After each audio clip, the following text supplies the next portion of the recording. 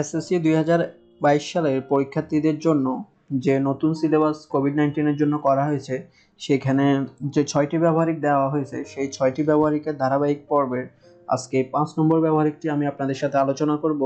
এখন এবং আমি আপনাদেরকে সেই ব্যবহারিকটা হাতে কলমে আপনাদেরকে বুঝিয়ে দেওয়ার চেষ্টা করব। তো পাঁচ নম্বর যে ব্যবহারিকটি রয়েছে, সেটা হচ্ছে স্প্রেডশিট বিশ্লেষণ। স্প্রেডশিট ব্যবহারের ক্ষেত্র, স্প্রেডশিট ব্যবহারের কৌশল কীভাবে স্প্রেডশিটে আমরা গুণ করতে পারি, ভাগ করতে পারি এবং শতকরা নির্ণয় করতে পারি, মূলত সেই বিষয়গুলো। তো চলুন কথা না বলে আমরা কাজ শুরু করি। আপনি কিবোর্ডে স্টার্ট বাটন প্রেস করবেন অথবা এখানে স্টার্টে ক্লিক করলে আপনি কিন্তু স্প্রেডশিটটা পেয়ে যাবেন। সেটার নাম হচ্ছে স্প্রেডশিট হচ্ছে মাইক্রোসফট অফিস এক্সেল টু এটাকে আপনি মাউসের রাইট বাটন ক্লিক করে কিংবা ডাবল ক্লিক করলে এটা ওপেন হবে। দেখতে পাচ্ছেন এখানে ওপেন হয়ে গেল। তো দেখেন, আমরা এগুলোকে নেক্সট করে দিচ্ছি। এখানে ডোন্ট ইউজ হ্যাঁ এই যে আমাদের এটা হচ্ছে মাইক্রোসফট অফিস টু থাউজেন্ড সেভেনের ইউজার ইন্টারফেস আর কি।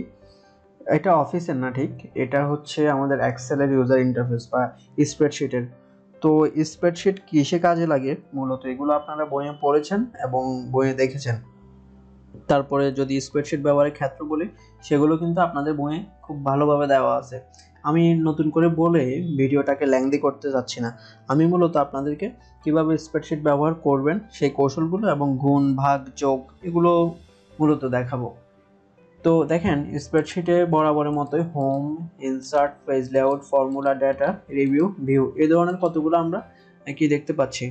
আমরা রিবন দেখতে পাচ্ছি। প্রত্যেকটা রিবনের আন্ডারে কিন্তু অনেকগুলো টুল রয়েছে, যেটা আমরা অফিস ওয়ার্ডে দেখে মানে দেখেছিলাম।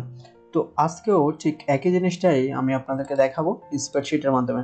তো এই স্প্রেডশিটে মূলত আপনি কীভাবে যোগ করবেন, বিয়োগ করবেন, গুণ করবেন, ভাগ করবেন, মূলত এই বিষয়গুলো আমি আপনাদের সাথে আলোচনা করব। তো আপনাকে যদি কোনো ইনস্ট্রাক্টর সেখানে আপনার হল গার্ডে যদি বা হলে যদি কোনো ইনস্ট্রাক্টর আপনাকে কাজ দেয় কিংবা ওনার সামনে করে দিতে বলে, তাহলে আমরা খুব সহজে বইয়ের কাজগুলো কিন্তু তাদেরকে দেখাতে পারি।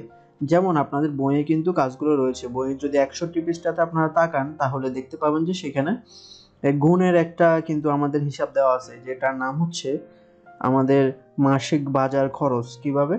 স্প্রেডশিটে গুণ করতে পারি, সেটার একটা কিন্তু ফর্মুলা দেওয়া আছে। তো আমরা যদি লিখি মাসিক বাজার খরচ, ঠিক আছে? আমরা এটাকে লিখলাম। লিখে এখন দেখেন, এটা কিন্তু একটা সেলের মধ্যে নাই। পুরোটা। ঠিক আছে, তো এটাকে মার্কস করে নিতে হবে, আমাদেরকে মার্কস করে নিতে হবে। তো মার্কস করার জন্য আপনার কিন্তু অনেকগুলো অপশন রয়েছে। সেটাকে আপনি বিভিন্নভাবে করতে পারেন। যেমন এই পুরোটাকে সিলেক্ট করবেন, ঠিক আছে? সিলেক্ট করে এখানে আমাদের যে অপশনটা আছে merge centre merge and centre এটাতে ক্লিক করব। দেখেন ক্লিক করলে এটা কিন্তু মার্জ অ্যান্ড আচ্ছা এটাকে আরেকটা কাজ করি। আমরা পুরোটাতে না করে আমরা জাস্ট তিনটা, চারটা সেলের মধ্যে করি।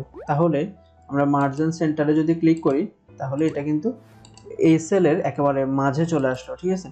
এবং এটাকে যদি বোল্ড করতে চান ভিতে ক্লিক করবেন, তাহলে বোল্ড হয়ে গেল। এরপর আমরা বইয়ে যদি তাকাই, বইয়ে আমাদের দেওয়া আছে দ্রব্যের নাম, ঠিক আছে? তাহলে আমরাও লিখি দ্রব্যের নাম। তারপর আমরা এখানে আমাদের আরেকটা ঘর আছে, সেটা হচ্ছে দাম, ঠিক আছে? ব্রেকেটে দেওয়া আছে টাকা। তাহলে আমরা টাকা লিখলাম। এরপর আমাদের দেওয়া আছে পরিমাণ কেজি। কীভাবে পরিমাণ? তারপর দেওয়া আছে কেজি ঠিক আছে? কেজি লিখলাম। এরপর যদি আমরা ট্যাব দিয়ে আরেকটাতে যাই, সেটা দেওয়া আছে খরচ। এখন আমাদের কিন্তু নামগুলো দেখা যাচ্ছে না ভালো করে সেই জন্য আমরা এগুলোকে বড় করে নিব, দেখেন, বড় করে নিব। এই অধ্যায়গুলো কিন্তু আলাদা করে টিউটোরিয়াল দেওয়া আছে আমাদের চ্যানেলে আপনি চাইলে সেটা দেখে নিতে পারেন। যেমন আমি সবগুলোকে কিন্তু আলাদা করে বড় করে নিলাম, এবং সবগুলো কিন্তু দেখেন মাঝে নাই কিন্তু।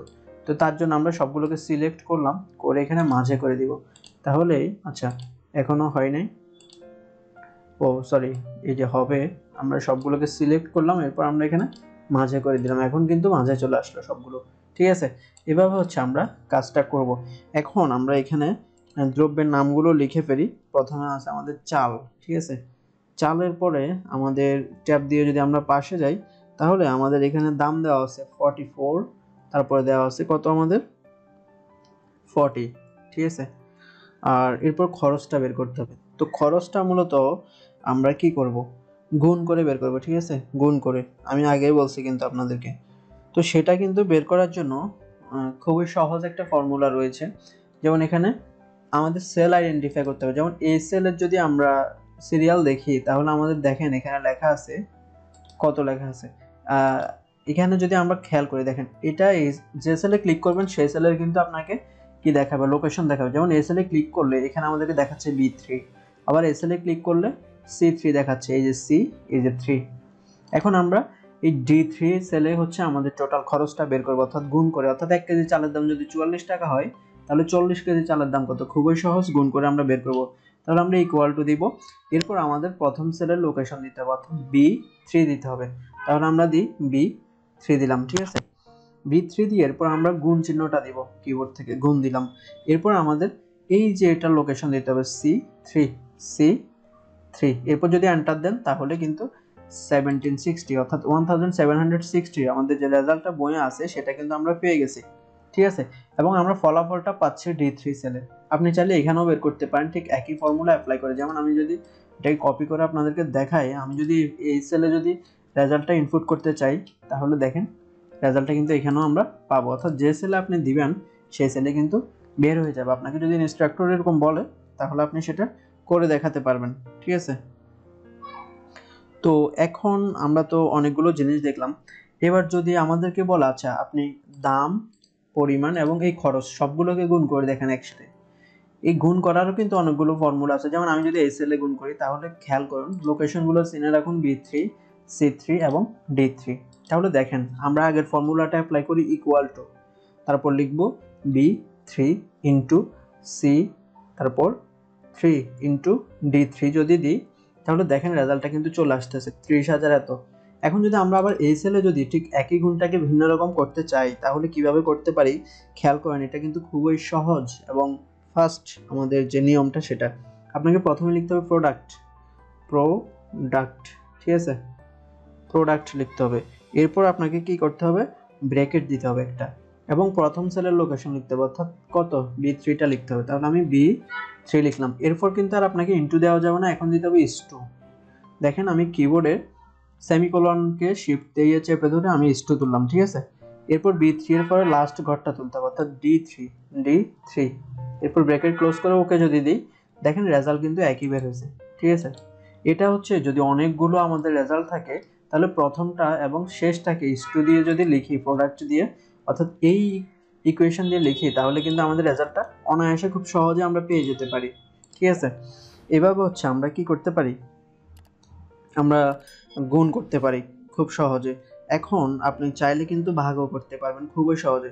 যেমন ধরুন আমরা এখানে দামের জায়গায় অন্য, ধরুন আমরা এই সেলে লিখি, ধরুন আমরা চারশোকে একশো দিয়ে ভাগ করব। এখানে একশো লিখলাম। এখানে আমরা একশো লিখলাম। ঠিক আছে? এখন এগুলোকে আমরা একটু সাজিয়ে নিই, সুন্দর করে সাজিয়ে নিলাম। এখন আমরা রেজাল্টটা বের করব এই সেলে, ঠিক আছে? তাহলে এটা হচ্ছে কত নং সেল? V nine. এটা তার মানে সি নাইন। আর ডি নাইনে আমরা রেজাল্টটা বের করব, ভাগ। আমরা ভাগ করব এখন, ঠিক আছে? তার জন্য ইকুয়াল টু দিতে হবে এবং আগের মতো সূত্র। বি নাইন দিচ্ছি বি নাইন। এখন আমরা ভাগ চিহ্নটা দিব। দেখেন কিবোর্ডের যে প্রশ্নবোধক সাইনটা আছে সেটাতে দিব, অর্থাৎ শিফটের পাশে, ঠিক আছে? এখন আমরা বি নাইনকে কত দিয়ে ভাগ করব? সি নাইন দিয়ে ভাগ করব। তাহলে সি দিয়ে আমরা যদি নাইন দিয়ে এন্টার দিই তখন আমাদের ফোর বের হয়ে গেল। অর্থাৎ চারশোকে যদি একশো দিয়ে ভাগ করি, তাহলে ফোর আসবে। খুবই সহজ। তাহলে আমরা কিন্তু ভাগটাও শিখে গেলাম। একইভাবে আপনি যদি চল্লিশ হাজারকে যদি ভাগ করেন, একশো দিয়ে, তাহলে কত আসে খেয়াল করেন? এখানে যদি আমরা আচ্ছা এবার ইকুয়েশনটা যেহেতু পাল্টে গেছে, এটা হবে বি ফোরটিন বি ফোরটিন ভাগ সি ফোরটিন ঠিক আছে? ঠিক আছে? এই যে দেখেন ফোর হান্ড্রেড বের হয়ে গেল। অর্থাৎ দুইটা শূন্য কাটা গিয়ে আর দুইটা শূন্য রয়ে গেছে। এভাবে হচ্ছে আমরা কাজগুলো আসলে করতে পারি। এবার আমরা সর্বশেষ যেটা বলা হয়েছে আমাদেরকে ব্যবহারিকে, কীভাবে শতকরা বের করতে পারি? খুবই সহজ শতকরা বের করা। আপনাদেরকে প্রথমে সহজে বোঝাবো, তারপর আমরা একটু কঠিন লেভেলে যাব।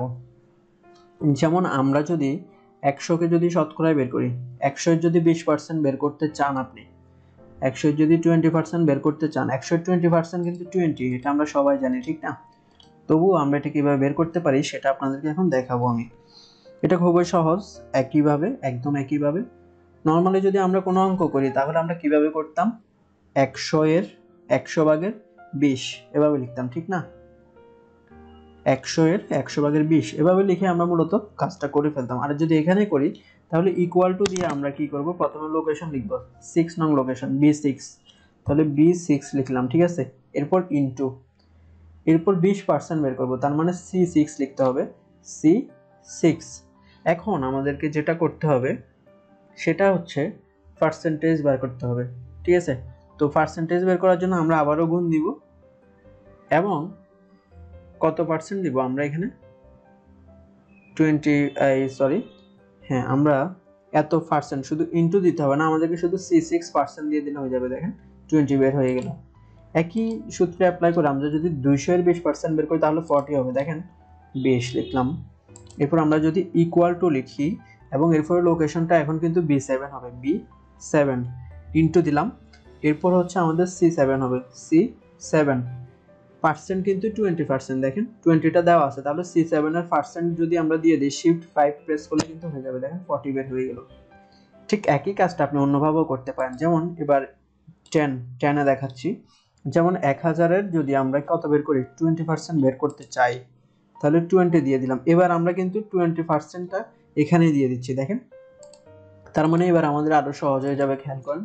ইকুয়াল টু দিয়ে আমরা লোকেশনটা দিয়ে দিই, তাহলে বি টেন ইন্টু তারপরে কত দিয়ে দিব? C ten C ten enter দিয়ে দিলে দেখেন টু হান্ড্রেড বের হয়ে গেল। ঠিক একইটাকে আপনি আগের সূত্রটা অ্যাপ্লাই করে করেন, যদি এখানে টোয়েন্টি পার্সেন্টটা উঠিয়ে দেন আর কি। যেমন আমি যদি দেখাই আপনাদেরকে, দেখেন, আমি যদি এবার এটাতে দেখাই, এবার পার্সেন্টটা উঠিয়ে দিয়ে আগের মতো দেখাচ্ছি। ও আচ্ছা সরি আমরা এখানে এগুলো উঠিয়ে দিচ্ছি। আচ্ছা এটা কোনো কারণে ভুল দেখাচ্ছে, সমস্যা নেই, এটা আমরা টোয়েন্টি রাখতেছি। পার্সেন্টটা থেকে যাচ্ছে কেন? আচ্ছা যাই হোক, এটা পুরোটাই থেকে যাচ্ছে যেহেতু আমরা এটা বাদে দিচ্ছি। আমরা এখানে ওয়ান থাউজেন্ড লিখি, তারপর এখানে দিচ্ছি টোয়েন্টি এবং আগের সূত্রটাকে অ্যাপ্লাই যদি করি, এখানে আমাদের পার্সেন্টটা কিন্তু বারবার এসে যাচ্ছে। আমরা খেয়াল করলে আচ্ছা এখানে পার্সেন্টেজ সিলেক্ট করা আছে। এখানে আমরা জেনারেল দিয়ে দিচ্ছি, তাহলে ঠিক হয়ে যাবে, দেখেন। এখন আমরা ইকুয়াল টু দিলাম। তারপর দিব B eleven B eleven into এটার লোকেশন হচ্ছে সি ইলেভেন সি ইলেভেন আবারও ইন্টু দিব। সরি ইন্টু না পার্সেন্ট দিয়ে দিব। আগের সূত্র, এটা হচ্ছে আগের সূত্রটা, অর্থাৎ এই সূত্রটা অ্যাপ্লাই করে এন্টার দিলে এখন টু হান্ড্রেড বেড়ে গেছে। তাহলে দেখেন, এই সূত্রটা হচ্ছে একরকম। আর যদি এই সূত্রটা দেখায় সরি আর যদি এই সূত্রটা দেখাই, তাহলে এটা হচ্ছে আরেক রকম। এটা হচ্ছে মূলত ডিফারেন্স তাহলে আশা করছি আপনারা ব্যবহারিক যে পাঁচ নাম্বার আছে, সেটা খুব সহজে বুঝে গেছেন। তো যদি আরও আরও বাকি পাঁচটা ব্যবহারিক দেখতে চান, আপনাদের আইসিটি বইয়ের, তাহলে আমাদের চ্যানেলের যে প্লেলিস্টটি আছে আইসিটি দুই বাইশ সালের পরীক্ষার্থীদের যে প্লেলিস্টে আছে, সেটা চেক করুন, সবগুলো ব্যবহারিক পেয়ে যাবেন, খুব সুন্দর করে বুঝে যাবেন। ধন্যবাদ আপনাদেরকে সকলকে।